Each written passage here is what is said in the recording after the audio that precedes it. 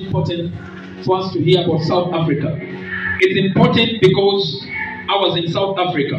Got a ministry in South Africa. And uh, those who are will be watching this message online and those who are in South Africa in our ministry, they know that I've already spoken about this in the beginning, but I was also given a flashback that in this year, 2024, I saw the political party called ANC, which is uh, the ruling party in South Africa, is going to be encountering a difficult time like never before in the history of uh, democracy, in the history of governance, because I saw ANC that it might remain in power in 2024.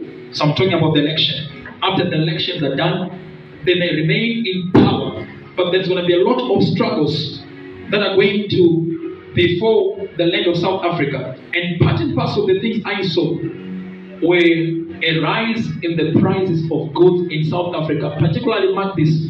I've already spoken about this in South Africa that I saw a rise in price of basic commodity, particularly cooking oil. And I said I saw, I think, a, a two liter bottle are going all the way to cost like something like a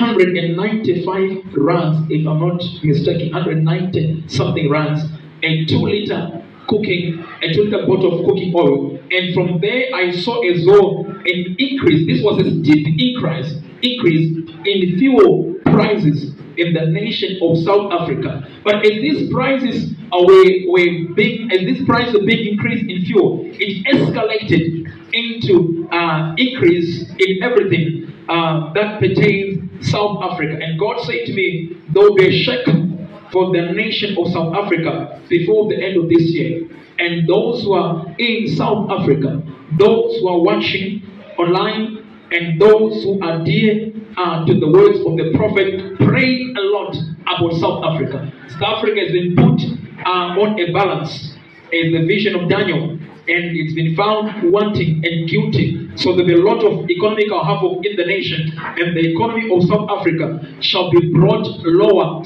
in the uh, year 2024. So South Africa, you are going through trials in this time, and the hand of the Lord shall be heavy upon the land.